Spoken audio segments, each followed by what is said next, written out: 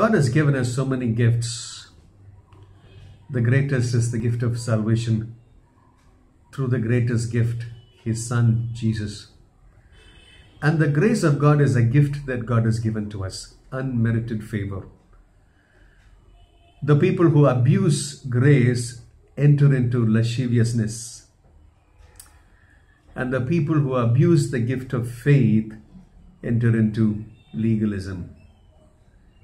Be very careful lest you misuse, misappropriate, and abuse the gifts of God. Yes, where sin abounded, grace did much more abound. That's no reason for sin to abound once again. Just because forgiveness is available, it doesn't mean that you treat the gift of God, grace, so lightly. Yes, faith, once again, is man's part in receiving God's gift of grace.